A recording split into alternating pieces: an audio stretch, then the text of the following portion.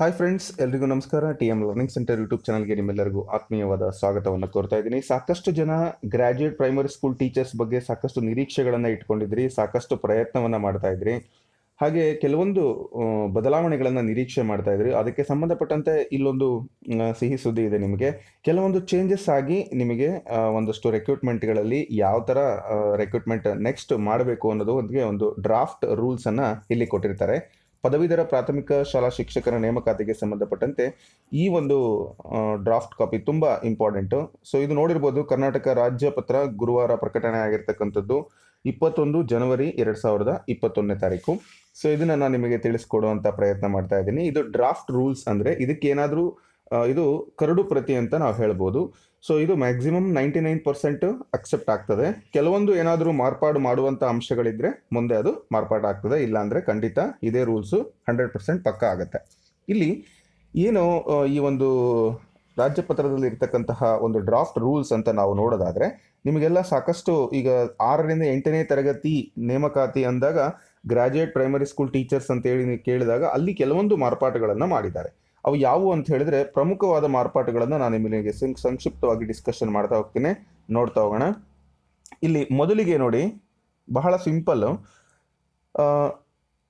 seventy five percent of the direct recruitment ಅಂದರೆ ನಿಮಗೇನಾದರೂ ನೂರು ಪೋಸ್ಟ್ಗಳು ಇತ್ತು ಅಂತಂದರೆ ಅದನ್ನು ಈ ಥರ ಕ್ಲಾರಿಫಿಕೇಶನ್ ಮಾಡ್ತಾರೆ. ಅಂದರೆ seventy five percent direct recruitment plus twenty five percent in service recruitment ಅಂದರೆ ಈಗ ಜಾಬ್ ಅಂದರೆ ಹೊರಗಡೆ ಇರ್ತಕ್ಕಂಥವ್ರಿಗೆ, ಈಗ ಇನ್ನೂ ಜಾಬ್ ತೊಗೊಂಡಿಲ್ಲದೆ ಇರೋರಿಗೆ ಡೈರೆಕ್ಟ್ ರೆಕ್ರೂಟ್ಮೆಂಟ್ ಅಂತೇಳಿ ಸೆವೆಂಟಿ ಫೈವ್ ಪರ್ಸೆಂಟ್ ಪೋಸ್ಟ್ಗಳನ್ನು ಕೊಡ್ತಾರೆ ಮೀಸಲಿಟ್ಟಿರ್ತಾರೆ ಹಾಗೆ ಟ್ವೆಂಟಿ ಫೈವ್ ಪರ್ಸೆಂಟ್ ಈಗ ಆಲ್ರೆಡಿ ಪಿ ಎಸ್ ಟಿ ಆಗಿದ್ದಾರೆ, ಅಥವಾ G P T already appoint ಆಗಿದ್ದಾರೆ, ಅವ್ರಿಗೂ ಕೂಡ ಟ್ವೆಂಟಿ ಫೈವ್ ಪರ್ಸೆಂಟ್ ಇಡ್ತಾರೆ. ನೆನಪಿರಲಿ, ಈ ಟ್ವೆಂಟಿ ಫೈವ್ ಪರ್ಸೆಂಟ್ಗೆ ಮತ್ತೆ ಈ ಒಂದು ಭಾಗಕ್ಕೆ ಇನ್ನೂ ಒಂದು ಸ್ವಲ್ಪ ಕ್ರೈಟೀರಿಯಾವನ್ನು ಇಟ್ಟಿದ್ದಾನೆ. ಯಾವ ರೀತಿಯಾಗಿ ಅಂತೇಳಿ ನಾನು ನಿಮಗೆ ವಿಡಿಯೋದ ಭಾಗದಲ್ಲಿ ತಿಳಿಸ್ಕೊಡ್ತಾ ಹೋಗ್ತೀನಿ. ಅದಕ್ಕಾಗಿ ನೀವು ಸಂಪೂರ್ಣ ವಿಡಿಯೋವನ್ನು ನೋಡಲೇಬೇಕು. ಇನ್ನು ಸಬ್ಸ್ಕ್ರೈಬ್ ಮಾಡದಲ್ಲೇ ವಿಡಿಯೋವನ್ನು ನೋಡ್ತಾ ಇದ್ರೆ ಅಂದರೆ ಈಗಲೇ ಸಬ್ಸ್ಕ್ರೈಬ್ ಮಾಡಿ. ಮುಂದಿನ ಒಂದು ಇನ್ಫಾರ್ಮೇಷನ್ ನಿಮಗೆ ಬೇಗನೆ ಬಂದು ತಲುಪುತ್ತೆ. ಸೊ ನೆಕ್ಸ್ಟು ಈಗ ಡೈರೆಕ್ಟ್ ರಿಕ್ರೂಟ್ಮೆಂಟು ಬಗ್ಗೆ ನಾವು ಮಾತಾಡೋದಾದರೆ ಇಲ್ಲಿ ನೀವು ನೋಡ್ಬೋದು ಗ್ರ್ಯಾಜುಯೇಟ್ ಪ್ರೈಮರಿ ಸ್ಕೂಲ್ ಟೀಚರ್ಸ್ ಯಾರ್ಯಾರಿಗೆ ಅಂತ ಹೇಳಿದ್ರೆ ಎಲ್ಲರಿಗೂ ಕೂಡ ಸೇ ಸೇಮ್ ಸ್ಕೇಲು ಇಪ್ಪತ್ತೇಳು ಸಾವಿರದ ಆರುನೂರ ಐವತ್ತರಿಂದ ಐವತ್ತೆರಡು ಸಾವಿರದ ಆರುನೂರ ಐವತ್ತು ಇಲ್ಲಿ ನಂಬರ್ ಆಫ್ ಪೋಸ್ಟ್ ಅಂತ ಕೊಟ್ಟಿದ್ದಾರೆ. ಅದು ಆ್ಯಕ್ಚುಲಿ ಅದು ಐವತ್ತೆರಡು ಸಾವಿರದ ಆರುನೂರ ಮೂವತ್ತು ಪೋಸ್ಟ್ಗಳು ಇದ್ದಾವೆ ಅಂತ ಹೇಳಿಬಿಟ್ಟು ಇರ್ತಕ್ಕಂಥ ಪೋಸ್ಟ್ಗಳು. ಇಲ್ಲಿ ಗ್ರ್ಯಾಜುಯೇಟ್ ಪ್ರೈಮರಿ ಸ್ಕೂಲ್ ಟೀಚರ್ಸ್ ಲ್ಯಾಂಗ್ವೇಜಿಗೆ ಸಂಬಂಧಪಟ್ಟಂತೆ ಇದೆ ನೋಡಿ. ಸೊ ಲ್ಯಾಂಗ್ವೇಜಿಗೆ ಸಂಬಂಧಪಟ್ಟಂತೆ ಅವ್ರಿಗೂ ಕೂಡ ಸೇಮ್ ಸ್ಕೇಲು, ಹಾಗೆ ಮ್ಯಾಥಮೆಟಿಕ್ಸ್ ಸೆಕೆಂಡ್ ಒನ್ನು ಮತ್ತು ಸೈನ್ಸ್ ಇನ್ಕ್ಲೂಡಿಂಗ್ ಅಲ್ಲಿ ಬಯಲಾಜಿಕಲ್ ಸೈನ್ಸ್ ಕೂಡ ಅಲ್ಲಿ ಇನ್ಕ್ಲೂಡ್ ಮಾಡಿದ್ದಾರೆ. ಹಾಗೆಯೇ ಅದಕ್ಕೂ ಪೇ ಸ್ಕೇಲ್ ಸೇಮ್ ಇರ್ತದೆ. ಹಾಗೆ graduate primary school teachers social ಸ್ಟಡೀಸ್ಗೆ ಸಂಬಂಧಪಟ್ಟಂತೆ ಅದು ಮೂರನೇ ಕಾಲಮ್ ಯಾಕೆ ಕಾಲಮ್ ಹೇಳ್ತಾ ಇದ್ದೀನಿ ಅಂದರೆ ನಿಮಗೆ ಅಲ್ಲಿ ಮತ್ತೆ ಎಲ್ಲಾದರೂ ಬಂದಾಗ ನಿಮಗೆ ಮೂರನೇ ಕಾಲಮ್ ಅಂದರೆ ಸೋಷಿಯಲ್ ಸ್ಟಡೀಸ್ ಅಂತ ನೀವು ನೆನ್ಪಿಟ್ಕೊಂಡಿರಬೇಕು. ಸೊ ಅವ್ರಿಗೂ ಕೂಡ ಸ್ಕೇಲ್ ಸೇಮ್ ಇರುತ್ತೆ. ಇಲ್ಲೊಂದು ನೋಟ್ ಕೊಟ್ಟಿದ್ದಾರೆ. Teachers of categories at serial number ಅಂದರೆ ಯಾವ್ಯಾವುದು ನಾನು ಆಗಲೇ ಹೇಳಿದೆ, ನೆನಪು ಮಾಡ್ಕೊಳ್ಳಿ ಅಂತ ಒಂದರಿಂದ ಮೂರರವರೆಗೆ. ಅಂದರೆ ಲ್ಯಾಂಗ್ವೇಜು ಮ್ಯಾಥಮೆಟಿಕ್ಸ್ನವರು ಮತ್ತು ಇಂಗ್ಲೀಷ್ನವರು ಹಾಗೆ ಬಯಲಾಜಿಕಲ್ ಸೈನ್ಸ್ನವರೆಲ್ಲರಿಗೂ ಸೇರಿ may be called upon the teaching subject and other those ಅಂದರೆ ಎಲ್ಲಿ ಅವಶ್ಯಕತೆ ಇದೆ ಡಿಪೆಂಡಿಂಗ್ ಇದೆ, ಎಲ್ಲಿ ಒಂದು ವರ್ಕ್ ಲೋಡ್ ಹೆಚ್ಚಾಗಿದೆ ಟೀಚರ್ಸಿಗೆ ಮತ್ತು ಮಕ್ಕಳ ಸಂಖ್ಯೆ ಜಾಸ್ತಿ ಇದೆ, ಅಂತ ಕಡೆ ಮಾತ್ರನೇ ಅದನ್ನು ಕನ್ಸಿಡರ್ ಮಾಡಿ ತಗೊಳ್ತಾರೆ ಅಂತ. ಅಂದರೆ ಇದೆ ಅಂತ ಹೇಳಿಬಿಟ್ಟು ಎಲ್ಲ ಕಡೆ ತಗೊಳ್ತಾರೆ ಅಂತಲ್ಲ. ಸೊ ಆ ಒಂದು ಮಾಹಿತಿ ನಿಮಗೆ ಗೊತ್ತಿರಲಿ. ಇನ್ನು ಉಳಿದಂತೆ, ಈ ಡೈರೆಕ್ಟ್ ರೆಕ್ರೂಟ್ಮೆಂಟ್ಗೆ ಸಂಬಂಧಪಟ್ಟಂತೆ ಮಾಹಿತಿ ಕೊಡೋದಾದರೆ ಇದಕ್ಕೆ ಕ್ವಾಲಿಫಿಕೇಷನ್ಸ್ ಇದೆ. ಅಲ್ಲಿ ನಿಮಗೆ ಬೇಕಾಗಿರುವಂತಹ ಎಲ್ಲ ಸಮ್ ಒಂದು ವಿಷಯಗಳು ಇಲ್ಲಿದೆ. Graduate degree with minimum fifty percentage of marks and two years diploma in elementary education ಅಂದರೆ ಫಿಫ್ಟಿ ಪರ್ಸೆಂಟು ನೀವು ಡಿಗ್ರಿಯಲ್ಲಿ ತೊಗೊಂಡ್ಲೇ ಬೇಕು. Two years D D Ed ಮಾಡಿದ್ರು ಪರವಾಗಿಲ್ಲ ಅಂತ. ಆದರೆ ಡಿ ಎಡ್ ವಿತ್ ಡಿಗ್ರಿ ಇದು ಭಾಳ ಜನ ಕನ್ಫ್ಯೂಷನ್ ಇದೆ. Graduate primary school teachers D Ed ಆಗಿದೆ ಸರ್ ನಮಗೆ ಕಾಲ್ ಮಾಡಲ್ವಾ ಅಂತ ಭಾಳ ಜನ ಪ್ರಶ್ನೆ ಕೇಳ್ತೀರಿ. ಆದರೆ ನೆನಪಿಟ್ಕೊಳ್ಳಿ ನೀವು ಡಿ ಡಿಪ್ಲೊಮೋ ಇನ್ ಎಜುಕೇಷನ್ ಮಾಡಿರ್ತೀರಾ? ಹೌದಲ್ವಾ? ಸೊ ನೋಡಿ, ಅದೇ ಇದೆ ಇಲ್ಲಿ. ಡಿಪ್ಲೊಮೋ ಇನ್ ಎಲಿಮೆಂಟರಿ ಎಜುಕೇಷನ್ ಏನಿದೆಯಲ್ಲ ಸೊ ಈ ಒಂದು ಡಿಪ್ಲೊಮೋ ಕೋರ್ಸನ್ನು ಮಾಡಿದ್ದು ಪದವಿಯನ್ನು ಮುಗಿಸಿದ್ರೆ ಅದರಲ್ಲಿ ವಿತ್ ಫಿಫ್ಟಿ ಪರ್ಸೆಂಟ್. ಸೊ ನೀವು eligible G P S T ಆರ್ಗೆ ಯಾಕೆಂದರೆ ಸಾಕಷ್ಟು ಜನ ಈಗ ಆಲ್ರೆಡಿ ವರ್ಕ್ ಮಾಡ್ತಾ ಇದ್ದಾರೆ. ಅವರು ಬಿ ಎಡ್ ಮಾಡಿಲ್ಲ ಮಾಸ್ಟರ್ ಡಿಗ್ರಿನೂ ಮಾಡಿಲ್ಲ, ಏನೂ ಇಲ್ಲ. ನೀವು ಅದ್ರ ಬಗ್ಗೆ ಯೋಚನೆ ಬಿಡಿ. ನೀವು ಡಿಗ್ರಿ ಮಾಡ್ಕೊಂಡಿದ್ದೀರಾ ಅಂದರೆ ಡಿ ಎಡ್ ಆಗಿದೆ. ಪೇಪರ್ ಟೂನ ನೀವು ಟಿ ಇ ಟಿ ಕ್ವಾಲಿಫೈ ಆಗಿದ್ದೀರಾ ಅಂದರೆ you will definitely have a chance to get what G P S T R job ಅಂತ ಹೇಳಿ ಅದನ್ನು ಅರ್ಥ ಮಾಡ್ಕೊಳ್ಳಿ. ಹಾಗೆ ಅಥವಾ graduate degree with minimum fifty percent of marks and bachelor of education ಅಂದರೆ ನಾವೇನು ನಾರ್ಮಲ್ ಬಿ ಎಡ್ ಒಂದು ವರ್ಷದ ಕೋರ್ಸು ಅಥವಾ ಸ್ಪೆಷಲ್ ಬಿ ಎಡ್ ವಿತ್ ಡಿಗ್ರಿಯಲ್ಲಿ ಫಿಫ್ಟಿ ಪರ್ಸೆಂಟು ಇನ್ನು ಪಿ ಯು ಸಿ ಮಾಡಿದ್ದು P U C with minimum fifty percent of the marks and four years bachelor of education ನಾಲ್ಕು ವರ್ಷದ ಒಂದು B bachelor of education elementary ಎಜುಕೇಷನನ್ನು ಮಾಡಿರ್ತಕ್ಕಂಥವ್ರಿಗೆ ಅವರು ಕೂಡ ಫಿಫ್ಟಿ ಪರ್ಸೆಂಟ್ನ ತಗೋಬೇಕು. So provide that in case of the candidates belonging to the scheduled cat ಅಂದರೆ S C S T ಅವರಿಗೆ ಕೆಟಗರಿ ಒನ್ ಅವರಿಗೆ, ಮತ್ತು backward classes and candidates belongs to the person with disability ಇರೋರಿಗೆ, ಇದರಲ್ಲಿ ಫಾರ್ಟಿ ಫೈವ್ ಪರ್ಸೆಂಟೇಜನ್ನು ಮಾಡಿದ್ದಾರೆ ನಾನು so ನೀವು ಕೆಟಗರಿಗೆ ಬಂದಿತ್ತು ಅಂತ ಹೇಳಿದ್ರೆ ಡಿಗ್ರಿ ಮತ್ತು P U C percentage P U C ಅಂದರೆ ಯಾರಿಗೆ ಅಂತ ನಿಮಗೆ ಈಗ ಕ್ಲಾರಿಫಿಕೇಶನ್ ಆಗಿದೆ, ಅವರು ಫಾರ್ಟಿ ಫೈವ್ ಪರ್ಸೆಂಟೇಜ್ಗೆ ನೀವು ಟ್ರೈ ಮಾಡ್ಬೋದು. ಅಂದರೆ ನೀವು ಎಲಿಜಿಬಲ್ ಆಗ್ತೀರಾ ಅಪ್ಲಿಕೇಶನ್ ಹಾಕಲಿಕ್ಕೆ ಅಂತ. ಹಾಗೆಯೇ ಭಾಳ ಇಂಪಾರ್ಟೆಂಟು ನೀವು ಟಿ ಇ ಟಿಯಲ್ಲಿ ಅಂದರೆ ಟೀಚರ್ಸ್ ಎಲಿಜಿಬಿಲಿಟಿ ಟೆಸ್ಟ್ ಕರ್ನಾಟಕ ಗೌರ್ಮೆಂಟಿಂದ ಕಾಲ್ ಮಾಡಿರೋದನ್ನು ಪಾಸ್ ಮಾಡಿರಲೇಬೇಕು. ಹಾಗೆ ಗ್ರ್ಯಾಜುಯೇಟ್ ಪ್ರೈಮರಿ ಸ್ಕೂಲ್ ಟೀಚರ್ಸ್ ಲ್ಯಾಂಗ್ವೇಜ್ಗೆ ಸಂಬಂಧಪಟ್ಟಂತೆ ಏನಾಗಿರ್ಬೇಕಪ್ಪ ಅಂತಂದರೆ ಇಲ್ಲೊಂದಷ್ಟು ನಿಯಮಗಳಿದ್ದಾವೆ ಏನು studied in the both concern language and also one of the following subject other than the concern language ಅಂದರೆ ಒಂದು ನೀವು ಹುದ್ದೆಯನ್ನು ಬಯಸ್ತಿರ್ತಕ್ಕಂಥ ಸಬ್ಜೆಕ್ಟಿನ ಒಂದು ವಿಷಯವನ್ನು ನೀವು ಓದಿರಲೇಬೇಕು ಅದನ್ನು. ಅಂದರೆ ಫಾರ್ ಎಕ್ಸಾಂಪಲ್ ನೀವು ಡಿಗ್ರಿಯಲ್ಲಿ ಕನ್ನಡ ಇಂಗ್ಲೀಷ್ ಹಿಂದಿ ಮರಾಠಿ ಯಾವುದಾದ್ರೂ ಒಂದು subject Urdu, Telugu, Tamil, Malayalam, Konkani Sanskrit history economics political science geography ಇದರಲ್ಲಿ ನಿಮ್ಗೆ ಯಾವ ಸಬ್ಜೆಕ್ಟಿಗೆ ನೀವು ಟ್ರೈ ಮಾಡ್ತಿದ್ರೋ, ಅದರಲ್ಲಿ ಮಿನಿಮಮ್ ಒಂದು ಸಬ್ಜೆಕ್ಟು ನೀವು ಡಿಗ್ರಿಯಲ್ಲಿ ಆಪ್ಷನಲ್ ಆಗಿ ಓದಿರಲೇಬೇಕು. ಡಿಗ್ರಿಯಲ್ಲಿ ಮೂರು ಸಬ್ಜೆಕ್ಟನ್ನು ನೀವು ತಗೊಳ್ತೀರಾ? ಸೈನ್ಸ್ನವರಾದರೆ ಪಿ ಸಿ ಎಂ ಇರುತ್ತೆ. ಪಿ ಎಂ ಸಿ ಎಸ್ ಇರುತ್ತೆ. ಅದ್ರ ಬಗ್ಗೆ ನಾನು ಮುಂದೆ ಹೇಳ್ತಾ ಹೋಗ್ತೀನಿ. ಸೊ ಅದು ಕಂಪಲ್ಸರಿ ಆಗಿದೆ. ಇನ್ನು minimum fifty percent of the marks in the concern language ಅದರಲ್ಲೂ ಕೂಡ ನೆನಪಿಟ್ಕೊಳ್ಳಿ. ನೀವು ಇಂಗ್ಲೀಷ್ ಸಬ್ಜೆಕ್ಟ್ ಆಗಿದ್ರೆ ಕನ್ನಡ ಸಬ್ಜೆಕ್ಟ್ ಆಗಿದ್ರೆ, ನಿಮ್ಮ ಡಿಗ್ರಿಯಲ್ಲಿ ಎಲ್ಲ ಒಂದು ಸೆಮಿಸ್ಟರ್ನ ಕೂಡಿದಾಗ ಬರುವಂಥದ್ದು ಏನಾಗಿರಬೇಕು? ಫಿಫ್ಟಿ ಪರ್ಸೆಂಟ್ ಇರಬೇಕು. ಮಿನಿಮಮ್ ಇರಬೇಕು. ಅದನ್ನು ನೆನಪಿಟ್ಕೊಳ್ಳಿ. ಹಾಗೆ ಪ್ರಾಕ್ಟೀಸ್ ಟೀಚಿಂಗ್ ಮೆಥಡ್ ಅಂದರೆ ನೀವು ಬಿ ಎಡಲ್ಲಿ ತೊಗೊಂಡಿರುವಂಥ ಎರಡು ಸಬ್ಜೆಕ್ಟ್ಗಳು ಅದರಲ್ಲೂ ಕೂಡ ನೀವು ಫಿಫ್ಟಿ ಪರ್ಸೆಂಟೇಜನ್ನು ತೊಗೋಬೇಕು. ಹಾಗೆಯೇ for post of graduate primary school teachers mathematics and science candidates special B ಅಂದರೆ ಸೈನ್ಸ್ನವ್ರಿಗೆ ನೋಡೋದಾದರೆ graduate who have studied mathematics physics compulsory in the three years of graduate ಅಂದರೆ ಪಿ ಎಂ ಕಂಪಲ್ಸರಿ ಅಪ್ಪ. ಸೈನ್ಸ್ನವ್ರಿಗೆ ಇದು ಮ್ಯಾಥಮೆಟಿಕ್ಸ್ ಸೈನ್ಸ್ನವರಿಗೆ ಫಿಸಿಕ್ಸು ಮತ್ತು maths compulsory ಮುಂದೆ ಸಿ ಎಸ್ ಆದರೂ ಇರ್ಬೋದು ಎಲೆಕ್ಟ್ರಾನಿಕ್ಸ್ ಆದರೂ ಇರ್ಬೋದು, ಬೇರೆ ಯಾವುದಾದ್ರು ಸಬ್ಜೆಕ್ಟ್ ಇರ್ಬೋದು P M C S C M C S ಇದೆಲ್ಲ ಇರುತ್ತೆ. ಸಿ ಎಂ ಸಿ ಎಸ್ನವ್ರಿಗೆ ಫಿಸಿಕ್ಸ್ ಇರಂಗಿಲ್ಲ ಸೊ ಅದನ್ನು ನೀವು ಸ್ವಲ್ಪ ಗಮನಿಸಿ. ಅಂದರೆ physics mathematics and physics are compulsory for three years of graduate degree along with either chemistry ಆಗಿರ್ಬೋದು ಪಿ ಸಿ ಎಂ ಆಗಿರ್ಬೋದು ಪಿ ಎಂ ಸಿ ಎಸ್ ಆಗಿರ್ಬೋದು ಎಲೆಕ್ಟ್ರಾನಿಕ್ಸ್ ಆಗಿರ್ಬೋದು ಸ್ಟ್ಯಾಟಿಸ್ಟಿಕ್ಸು ಜಿಯೋಗ್ರಫಿ ಯಾವುದಾದ್ರೂ ಆಗಿರ್ಬೋದು ಬಟ್ ಅವೆರಡು ಸಬ್ಜೆಕ್ಟ್ ಅಂತೂ ಬೇಕು. ಇನ್ನು ಇಂಜಿನಿಯರಿಂಗ್ ಆಗಿದ್ದರೆ ಅವರು ಕೂಡ ಅದರ, ಅದರಲ್ಲಿ other than graduates in agri architecture architecture ಇಂಜಿನಿಯರ್ನ ಬಿಟ್ಟು who have studied mathematics in three or four semester ಮೂರು ಅಥವಾ ನಾಲ್ಕು ಸೆಮಿಸ್ಟರ್ಗಳಲ್ಲಿ ಅಭ್ಯಾಸ ಮಾಡಿದರೆ ಇಂಜಿನಿಯರಿಂಗ್ ಪದವೀಧರರು ಕೂಡ applied mathematics and rest of the ಸೆಮಿಸ್ಟರ್ಸನ್ನು ತಗೊಂಡಿದ್ರೆ ನೀವು ಕೂಡ ಎಲಿಜಿಬಲ್ ಆಗ್ತೀರಾ? ಹಾಗೆಯೇ candidates must have scored minimum fifty percent of the marks in each the ಅಂದರೆ ದೋಸ್ ತ್ರೀ ಸಬ್ಜೆಕ್ಟ್ಸ್ ಆ ಮೂರು ಸಬ್ಜೆಕ್ಟ್ಗಳಲ್ಲಿ ಫಿಫ್ಟಿ ಪರ್ಸೆಂಟನ್ನು ಅವರು ತೊಗೊಂಡಿರ್ಬೇಕಾಗತ್ತೆ. ಇಂಜಿನಿಯರ್ ಆಗಿರ್ಬೋದು ಅಥವಾ ಮಾಮೂಲು ನೀವು ಡಿಗ್ರಿ ಸಬ್ಜೆಕ್ಟ್ ಆಗಿರ್ಬೋದು. ಸೊ ಭಾಳ ಇಂಪಾರ್ಟೆಂಟ್ ಮ್ಯಾಥಮೆಟಿಕ್ಸ್ ಮತ್ತು ಸೈನ್ಸ್ನಲ್ಲಿ ನೀವು ಫಿಫ್ಟಿ ಪರ್ಸೆಂಟೇಜು ಮಾರ್ಕ್ಸನ್ನು ತಗೊಳ್ಳೇಬೇಕು. ಏಕೆಂದರೆ ಅದು ಮಿನಿಮಮ್ ಕ್ರೈಟೀರಿಯಾ ಮಾರ್ಕ್ಸ್ ಎಲಿಜಿಬಿಲಿಟಿಗೆ ಇಟ್ಟಿದ್ದಾರೆ. ಹಾಗೆಯೇ ಮಸ್ಟ್ ಯಾವ ಪ್ರಾಕ್ಟೀಸ್ ಟೀಚಿಂಗ್ ಅಲ್ಲೂ ಕೂಡ, ಅಂದರೆ ಬ್ಯಾಚುಲರ್ ಆಫ್ ಎಜುಕೇಷನ್ ಏನಿದೆ, ಅಥವಾ ಡಿ ಎಡ್ ಇದೆ ಕೂಡ ನೀವೇನು ಮಾಡಬೇಕಾಗತ್ತೆ ಒಂದು ಸಬ್ಜೆಕ್ಟನ್ನು ನೀವು ನೀವು ಯಾವ ವಿಷಯಕ್ಕೆ ಟ್ರೈ ಮಾಡ್ತಾ ಇದ್ದೀರಾ, ಅದು ತಗೊಂಡ್ಲೇಬೇಕಾಗತ್ತೆ. ಈಗ ನಾನು ಸಿ ಬಿ ಮೆಥಡ್ ತಗೊಂಡು ಮ್ಯಾಥಮೆಟಿಕ್ಸಿಗೆ ಟ್ರೈ ಮಾಡ್ಲಿಕ್ಕೆ ಆಗಲ್ಲ. ಸೊ ಆ ಥರ. ನಿಮಗೆ ಗೊತ್ತಿರುತ್ತೆ ಇದೆಲ್ಲ, ಯಾವ ಪೋಸ್ಟ್ ಏನು ಅಂತ ಹೇಳ್ಬಿಟ್ಟು. ಹಾಗೆಯೇ ಪ್ರೈಮರಿ ಟೀಚರ್ಸಲ್ಲಿ ಬಯಾಲಜಿಕಲ್ ಸೈನ್ಸ್ ಅಂತ ಒಂದು ಪೋಸ್ಟ್ ಕ್ರಿಯೇಟ್ ಆಗಿದೆ. ಇದು ಏನಾಗಿದೆ ಅಂದರೆ, ಎಲ್ಲೆಲ್ಲಿ ಅವಶ್ಯಕತೆ ಇದೆ ಅಂಥ ಕಡೆ ಮಾತ್ರ, ಅಂದರೆ ಮಕ್ಕಳ ಮತ್ತು ಟೀಚರ್ಸ್ ಸಂಖ್ಯೆ ರೇಷ್ಯೂ ಟೀಚರ್ ಪೀಪಲ್ ರೇಷ್ಯೂ ಅಂತ ನಾವು ಕರಿತೀವಿ. ಅದ್ರ ಮೇಲ್ಗಡೆ ಇವುಗಳನ್ನು ಕಾಲ್ ಫಾರ್ ಮಾಡ್ತಾರೆ. ಅದನ್ನು ನೀವು ಗಮನಿಸ್ಬೋದು. ಹಾಗೆಯೇ graduate who have studied chemistry compulsory for the three years in the graduate degree any of the two subject from the among ಅಂದರೆ ಕೆಮಿಸ್ಟ್ರಿ ಮಾಡಿದ್ದು, ಈಗ ನೋಡಿ ಸಿ ಬಿ ಮೆಥಡ್ನವ್ರಿಗೆ ಬರ್ತೀನಿ. ಮ್ಯಾಥಮೆಟಿಕ್ಸ್ ಟೀಚರೇ ಬೇರೆ ಆಯಿತು. ಈಗ ಸಿ ಬಿ ಮೆಥಡ್ ಅವರಿಗೆ ಚಾನ್ಸ್ ಇದೆಯಾ ಅನ್ನೋದಕ್ಕೆ ಇಲ್ಲಿ ನಿಮಗೆ ಕೆಮಿಸ್ಟ್ರಿಯನ್ನು ತಗೊಂಡು botany zoology sericulture environmental studies genetics mathematics for the three years in the graduate degree ಇದ್ದರೆ ಅವರು ಕೂಡ ಎಲಿಜಿಬಲ್ ಆಗ್ತೀರಾ? ಅದರಲ್ಲೂ ಕೂಡ ನೀವು ಫಿಫ್ಟಿ ಪರ್ಸೆಂಟ್ ಮಾರ್ಕ್ಸನ್ನು ತೊಗೊಂಡಿರಬೇಕು ಕಂಪಲ್ಸರಿ ಒಂದು ಈ ಸಬ್ಜೆಕ್ಟ್ಗಳಲ್ಲಿ ಹಾಗೆ ಪ್ರಾಕ್ಟೀಸ್ ಟೀಚಿಂಗ್ ಮೆಥಡ್ ಅದರಲ್ಲಿ ಕೂಡ ನೀವು ಒಂದು ಸಬ್ಜೆಕ್ಟನ್ನು ಅಂದರೆ ಡಿ ಡಿಗ್ರಿ ಆದ ನಂತರ ಬರುವಂಥ ಬಿ ಎಡಲ್ಲಿ ಕೂಡ ನೀವು ಆಪ್ಷನಲನ್ನು ತಗೊಂಡು ಅಭ್ಯಾಸ ಮಾಡಿರಬೇಕು ಟೀಚಿಂಗ್ ಮೆಥಡನ್ನು for the post of graduate primary teachers social studies the candidates should have social studies ಬಗ್ಗೆ ಮಾತಾಡೋದ್ರಿಂದ ಇಲ್ಲಿ studied two subjects as optional for the three years in the ಗ್ರಾ ಅಂದರೆ ಗ್ರ್ಯಾಜುಯೇಟಲ್ಲಿ ಎರಡು ಸಬ್ಜೆಕ್ಟ್ ಕಂಪಲ್ಸರಿ ಓದಿರಬೇಕು. ನೀವು ಯಾವ ಹುದ್ದೆಗೆ ಬಯಸ್ತಾ ಇದ್ದೀರಿ ಅದು.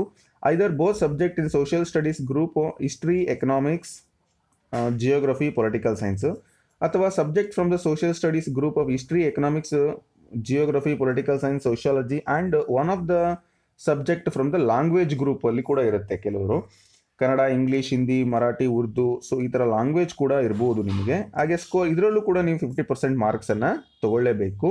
ಪ್ರಾಕ್ಟೀಸ್ ಟೀಚಿಂಗ್ ಅಂದರೆ ಡಿ ಎಡ್ ಅಥವಾ ಬಿ ಎಡಲ್ಲಿ ನೀವು ಅದನ್ನು ಒಂದು ಸಬ್ಜೆಕ್ಟ್ ಆಗಿ ಕಂಪಲ್ಸರಿ ನೀವು ತೊಗೊಂಡಿರಬೇಕು.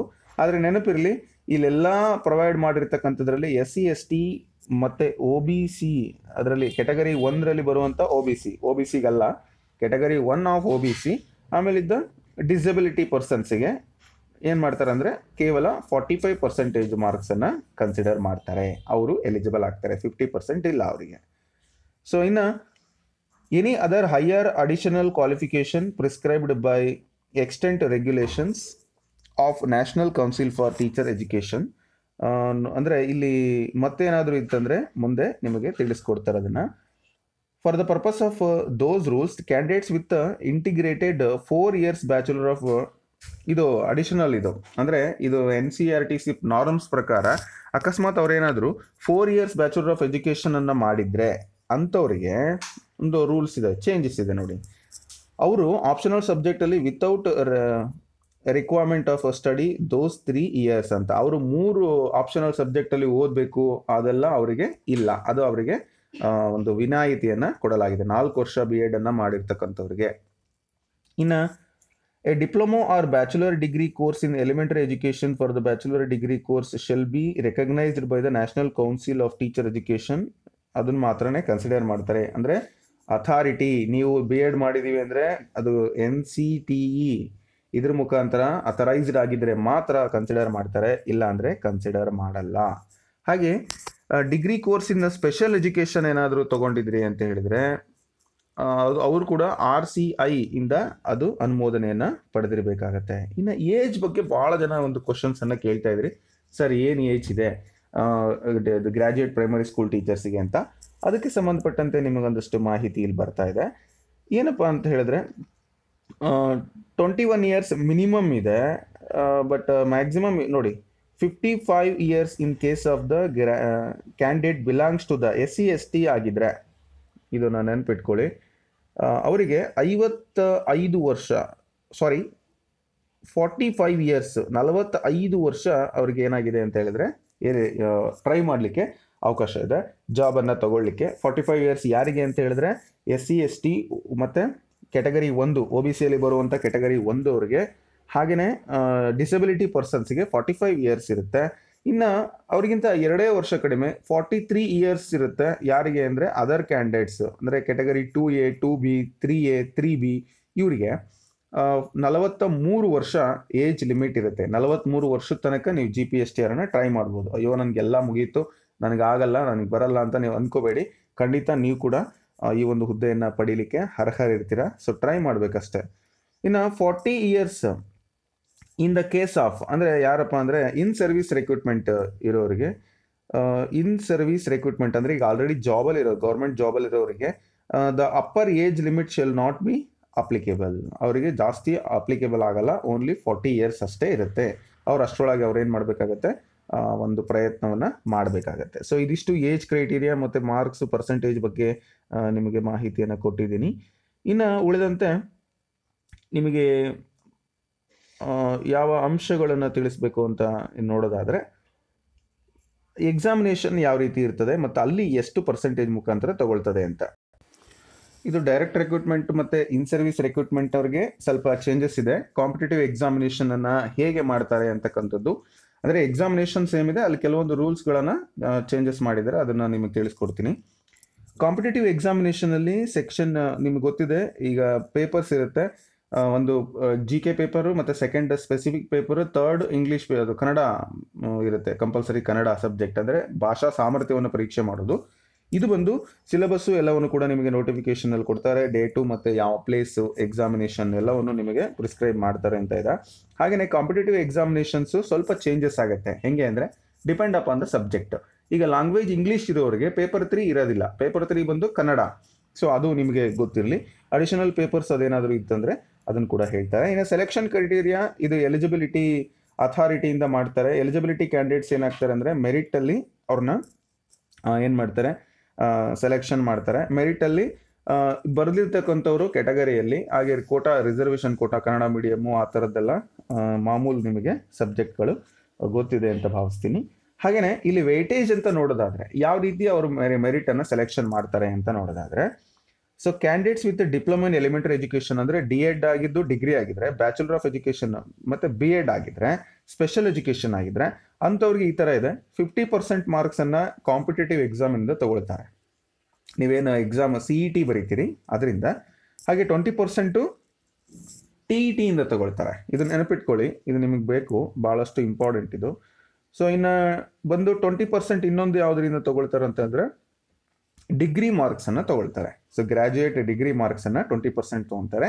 ಇನ್ನು ಟೆನ್ ಪರ್ಸೆಂಟ್ ಮಾರ್ಕ್ಸ್ ಅನ್ನ ಟೀಚರ್ ಎಜುಕೇಶನ್ ಕೋರ್ಸು ನಿಮ್ಮ ಬಿ ಎಡ್ ಆಗಿದ್ರೆ ಅದರಲ್ಲಿ ಅಥವಾ ಡಿ ಎಡ್ ಆಗಿದ್ರೆ ಅದರಲ್ಲಿ ತಗೊಳ್ತಾರೆ. ಓಕೆನಾ ಸೊ ಇದು ಒಟ್ಟು ಹಂಡ್ರೆಡ್ ಪರ್ಸೆಂಟಿಗೆ ಯಾವ್ಯಾವ ಪರ್ಸೆಂಟೇಜು ತಗೊಳ್ತಾರೆ ಅಂತ ಹೇಳ್ಬಿಟ್ಟು ನೀವು ಇದನ್ನು ಗಮನಿಸಿ. ಅಕಸ್ಮಾತ್ ಏನಾದ್ರು ಫೋರ್ ಇಯರ್ಸ್ ಅವ್ರು ಏನಾದರೂ ಇದನ್ನ ಮಾಡಿದ್ರೆ, ಅಂದರೆ ಫೋರ್ ಇಯರ್ಸ್ ಗ್ರಾಜುಯೇಟ್ ಡಿಗ್ರಿ ತಗೊಂಡಿದ್ರೆ ಅವರಿಗೆ fifty percent of the marks competitive exam fifty percent twenty percent marks teacher eligibility ಟೆಸ್ಟಲ್ಲಿ ಇನ್ನು ತರ್ಟಿ ಪರ್ಸೆಂಟ್ ಮಾರ್ಕ್ಸ್ ಬಂದು ಅವರ ಒಂದು ಗ್ರ್ಯಾಜುಯೇಟ್ ಡಿಗ್ರಿಯಲ್ಲಿ ಮಾರ್ಕ್ಸನ್ನು ತಗೊಳ್ತಾರೆ. ಸೊ ಅಂದರೆ ದಟ್ ಮೀನ್ಸ್ ಡಿ ಎಡ್ ಅಥವಾ ಏನು ಅವ್ರು ಹೇಳಿದ್ರೆ ನಾಲ್ಕು ವರ್ಷದ ಕೋರ್ಸು ಸೊ ಅದರಲ್ಲಿ ಬರುವಂಥ ಪರ್ಸೆಂಟೇಜು ಮೂವತ್ತು ಟೋಟಲ್ ಇವ್ರಿಗೂ ಕೂಡ ಹಂಡ್ರೆಡ್ ಪರ್ಸೆಂಟು ಈ ಒಂದು ಮಾನದಂಡದಲ್ಲಿ ತಗೊಳ್ತಾರೆ. ಓಕೆನಾ ಹಾಗೆ ಈ ಪರ್ಸೆಂಟೇಜ್ ಮೂಲಕನೇ ಅವ್ರು ಏನು ಮಾಡ್ತಾರೆ ಅಂದರೆ ಒಂದು ಬೇಸಿಸ್ ಆಗಿ ಇದು ಮಾಡ್ತಾರೆ. ಅಕಸ್ಮಾತ್ ಸೇಮ್ ಪರ್ಸೆಂಟೇಜ್ ಇದ್ದರೆ ಏಜ್ ಮೇಲೆ ನಿಮಗೆ ಕನ್ಸಿಡರ್ ಮಾಡ್ತಾರೆ ಅಂತ ಅರ್ಥ ಆಗಿದೆ. ಈಗ ಆಲ್ರೆಡಿ ಎಲ್ಲ ನಿಮ್ಗೆ ಗೊತ್ತಿದೆ ಅದು. ಹಾಗೆ ರಿಸರ್ವೇಷನ್ ಪೋಸ್ಟ್ ಬಂದು ಅದಕ್ಕೆ ಸಂಬಂಧಪಟ್ಟಂತೆ ಕೂಡ ರೂಲ್ಸ್ ಇದೆ. ಸ್ಟೇಟ್ ಗೌರ್ಮೆಂಟಲ್ಲಿ ಏನಾಗಿದೆ, ಯಾವ್ಯಾವ ಒಂದು ರಿಸರ್ವೇಷನ್ ಇರುತ್ತೆ ಎಸ್ ಸಿ ಮತ್ತು ಎಸ್ ಟಿ ಹಾಗೆ ಬ್ಯಾಕ್ವರ್ಡ್ ಕ್ಲಾಸಸ್ಸು ಇವುಗಳ ಬಗ್ಗೆ ಕೂಡ ಇರುತ್ತೆ. ಸೊ ಇದೆಲ್ಲ ನಿಮಗೆ ಗೊತ್ತಿದೆ ಅಂತ ಭಾವಿಸ್ತೀನಿ. ಹಾಗೆಯೇ ಇನ್ನು ಸೆಲೆಕ್ಷನ್ ಲೀಸ್ಟು ಅದೆಲ್ಲ ನಿಮ್ಗೆ ಗೊತ್ತಿದೆ, ಮತ್ತು ಎಷ್ಟು ವೇಕೆನ್ಸಿ ಇದೆ, ಎಷ್ಟು ಪೋಸ್ಟ್ ಇದ್ದಾವೆ ಅದಕ್ಕೆ ಸಂಬಂಧಪಟ್ಟಂತೆ ಸೆಲೆಕ್ಷನ್ ಲೀಸ್ಟನ್ನು ಹಾಕ್ತಾರೆ.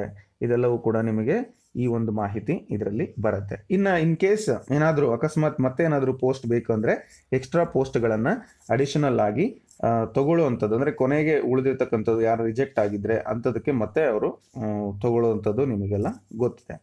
ಅದಷ್ಟು ಬಂದು ಡೈರೆಕ್ಟ್ ರೆಕ್ರೂಟ್ಮೆಂಟ್ ಬಗ್ಗೆ ಇನ್ನು ಇನ್ ಸರ್ವಿಸ್ ರೆಕ್ರೂಟ್ಮೆಂಟಲ್ಲಿ ಕೆಲವೊಂದು ಚೇಂಜಸ್ ಇದೆ. ಅದನ್ನು ನಾನು ನಿಮಗೆ ತಿಳಿಸ್ಕೊಡ್ತೀನಿ. ಯಾರೆಲ್ಲ ಈಗ already in service candidates working in cadre of primary school teacher or the earlier cadre than primary school assistant master assistant mistress ಇದ್ದರೆ ಇದ್ರ ಇವರಿಗೆ ಮಿನಿಮಮ್ ಫೈವ್ ಇಯರ್ಸ್ ಸರ್ವಿಸ್ ಆಗಿರಬೇಕು. ಭಾಳ ಜನ ಹೇಳ್ತಿದ್ರು ಸರ್ ನಾವು ಉದ್ಯೋಗ ಇಲ್ಲ, ನಮಗಾದ್ರೂ ಕೊಡೋದಿಲ್ಲ, ಅವ್ರು ಆಲ್ರೆಡಿ ಜಾಬಲ್ಲಿ ಇದ್ದಾರೆ ಅವ್ರಿಗೆ ಕೊಡಬೇಕು, ಅವರಿಗೆ ಕೊಡ್ತೀರಾ, ನಮಗೆ ಕೊಡೋದಿಲ್ಲ ಅಂತ. ಈ ಮೊನ್ನೆ ರೆಕ್ರೂಟ್ಮೆಂಟ್ ಅಲ್ಲಿ ಕೂಡ ಆಲ್ರೆಡಿ ಜಾಬಲ್ಲಿ ಇರೋರೆ ಅವ್ರವ್ರ ಡಿಸ್ಟಿಕ್ಕಿಗೆ ಎಕ್ಸಾಮ್ ಬರೆದು ಹೋಗ್ಬಿಟ್ರು G P S T R ಅಲ್ಲಿ. ಸೊ ಅದಕ್ಕಾಗಿ ಇಲ್ಲೊಂದು ಮಾನದಂಡ ಕೊಟ್ಟಿದ್ದಾರೆ. ಮಿನಿಮಮ್ ಬಂದು ಫೈವ್ ಇಯರ್ಸ್ ಅವರು ಕಂಪ್ಲೀಟ್ ಮಾಡಿರಬೇಕು ಸರ್ವಿಸನ್ನು ನೋಡಿ. ಫೈವ್ ಇಯರ್ಸು ಮತ್ತೆ ಪ್ರೊಬೆಷನರಿ ಡಿಕ್ಲೇರ್ ಆಗಿರಬೇಕು. ಅಂದರೆ ಈಗ ರೀಸೆಂಟಾಗಿ ಅಪಾಯಿಂಟ್ ಆಗಿ ಪ್ರೊಬೇಷನರಿ ಆಗಿಲ್ದೇ ನನ್ನ ಸ್ನೇ ಕೆಲವರು ನಮ್ಗೆ ನನಗೆ ಗೊತ್ತಿರೋಂಥ ಸ್ನೇಹಿತರು ಬೇರೆ ಬೇರೆ ಡಿಸ್ಟಿಕ್ಕಿಗೆ ಹೋಗಿದ್ದಾರೆ. ಬಟ್ ಈಗ ಇರುವಂಥ ರೂಲ್ಸಲ್ಲಿ ಅವರು ಎಲಿಜಿಬಲ್ ಆಗೋದೇ ಇಲ್ಲ ಅಪ್ಲಿಕೇಶನ್ ಹಾಕ್ಲಿಕ್ಕೆ. ಇನ್ನು must passed in the qualification prescribed in the column ಅಲ್ಲಿ ಕ್ವಾಲಿಫಿಕೇಶನ್ ಎಲ್ಲವೂ ಕೂಡ ಇರಬೇಕು, ಮತ್ತೆ ಮಿನಿಮಮ್ ಪರ್ಸೆಂಟೇಜ್ ಇವ್ರಿಗೆ ಇಲ್ಲ. ಓಕೆನಾ? ಈಗ ಆಲ್ರೆಡಿ ಮೊದಲು ರೆಕ್ರೂಟ್ಮೆಂಟ್ ಅಲ್ಲಿ ಚೆ- ಇದ್ದವರಿಗೆ ಕಡಿಮೆ ಪರ್ಸೆಂಟೇಜ್ ಇದ್ರೂ ಆಗಿದೆ. ಈಗ ಫಿಫ್ಟಿ ಪರ್ಸೆಂಟ್ ಅದೆಲ್ಲ ಬಂದಿದೆ. ಬಟ್ ಇವರಿಗೆ ಅದೇನು ಇಲ್ಲ. Must have secured minimum fifty percent marks in each prescribed competitive examination ಅಂದರೆ, ನೀವೇನು ಎಕ್ಸಾಮಿನೇಷನ್ ಬರೀತೀರಾ? ಪೇಪರ್ ಟೂನ ಅಥವಾ ಪೇಪರ್ ಒಂದು? ಇದರಲ್ಲಿ ಫಿಫ್ಟಿ ಪರ್ಸೆಂಟ್ ಮಾರ್ಕ್ಸ್ ನೀವು ತಗೊಳ್ಳೇಬೇಕು ಅಂತ ಹೇಳ್ಬಿಟ್ಟು ನಿಮಗೆ ಕಂಪಲ್ಸರಿಯನ್ನು ಇಟ್ಟಿದ್ದಾರೆ. ಆಲ್ರೆಡಿ ಜಾಬಲ್ಲಿ ಇರೋರಿಗೆ ಸೊ ನಿಮಗೂ ಇವರಿಗೆ ಕೂಡ ಕಾಂಪಿಟೇಟಿವ್ ಎಕ್ಸಾಮ್ ಇದೆ. Depend upon the post eligibility candidates apply ಮಾಡ್ಬೋದು. ಆದರೆ ಅದು ಬಂದು ನೋಟಿಫಿಕೇಶನಲ್ಲಿ ನಿಮಗೆ ಅದ್ರ ಬಗ್ಗೆ ಯಾವ ಥರ ಇರುತ್ತೆ ಮತ್ತು ಯಾವ ಪೇಪರು ಯಾರ್ಯಾರು ಬರೀಬೇಕು ಅನ್ನೋದನ್ನ ಒಂದರಿಂದ ಮೂರರವರೆಗೆ ನಾನು ಮೊದಲೇ ಹೇಳಿದಂತೆ ಯಾವ್ಯಾವ ಪೋಸ್ಟ್ ಅಂತ ಲ್ಯಾಂಗ್ವೇಜು ಮ್ಯಾಥಮೆಟಿಕ್ಸ್ ಟೀಚರು ಮತ್ತೊಂದು English teacher social studies teacher so ಇವರಿಗೆ ಒಂದು ಡಿಫ್ರೆಂಟ್ ಇದೆ. ಸೆಲೆಕ್ಷನ್ ಕ್ರೈಟೀರಿಯಾ ಕೂಡ ಇದೆ. ನಿಮ್ಮ ಒಂದು ವೆಯ್ಟೇಜನ್ನು ತಗೊಂಡು ಅಲ್ಲಿ ಸೆಲೆಕ್ಷನ್ ಅನ್ನ ಮಾಡುವಂಥದ್ದು. ಯಾವ ರೀತಿ ಸರ್ ವೈಟೇಜ್ ಅಂದರೆ competitive ಎಕ್ಸಾಮ್ದು fifty percent twenty five graduate ಇನ್ನು ಟ್ವೆಂಟಿ ಫೈವ್ ಮಾರ್ಕ್ಸ್ ನಿಮ್ಮ ಡಿಗ್ರಿ ಅಂದರೆ ಡಿಪ್ಲೊಮೊ ಇನ್ ಎಜುಕೇಷನ್ ಆಗಿರ್ಬೋದು ಅಥವಾ bachelor of degree B Ed ಆಗಿರ್ಬೋದು, ಆ ರೀತಿಯಾಗಿ ನಿಮಗೆ ತಗೊಳ್ತಾರೆ. ನಾಲ್ಕು ವರ್ಷದ ಒಂದು ಕ್ವಾಲಿಫಿಕೇಶನ್ ಇತ್ತು ಅಂತಂದರೆ ಬ್ಯಾಚುಲರ್ ಆಫ್ ಡಿಗ್ರಿಯಲ್ಲಿ ಸ್ವಲ್ಪ ಚೇಂಜಸ್ ಇದೆ. Fifty percent of the marks competitive exam fifty percent ನಿಮ್ಮ ಡಿಗ್ರಿ ಅದೇ ನಾಲ್ಕು ವರ್ಷದ ಒಂದು ಕೋರ್ಸಲ್ಲಿ ನೀವು ಮಾಡಿರ್ತಕ್ಕಂಥದ್ದನ್ನ ಕನ್ಸಿಡರ್ ಮಾಡ್ತಾರೆ. ಇದಿಷ್ಟು ನಿಮಗೆ ಬೇಕಾದಂತಹ ಮಾಹಿತಿಗಳಾಗಿತ್ತು. ಸೊ ಇದು ಅಧಿಕೃತವಾಗಿ ಪ್ರಕಟಣೆ ಆಗಿರ್ತಕ್ಕಂಥ ಮಾಹಿತಿ. ಸೊ ಇದರಲ್ಲಿ ನಿಮಗೆ ಏನಾದರೂ ಡೌಟ್ ಅನಿಸಿದ್ರೆ ಅದನ್ನು ಕಮೆಂಟ್ ಮಾಡಿ. ನನಗೆ ಗೊತ್ತಿರೋಷ್ಟು ನಾಲೆಡ್ಜನ್ನು ಉಪಯೋಗಿಸಿ ನಿಮಗೆ ತಿಳಿಸ್ಕೊಡುವಂಥ ಪ್ರಯತ್ನ ಮಾಡ್ತಾ ಇದ್ದೀನಿ. ಥ್ಯಾಂಕ್ ಯು ಫಾರ್ ವಾಚಿಂಗ್ ಯಾರಿಗೆಲ್ಲ ವಿಡಿಯೋ ಅವಶ್ಯಕತೆ ಇದೆ, ಅವರಿಗೆ ಶೇರ್ ಮಾಡಿ. ಧನ್ಯವಾದಗಳು.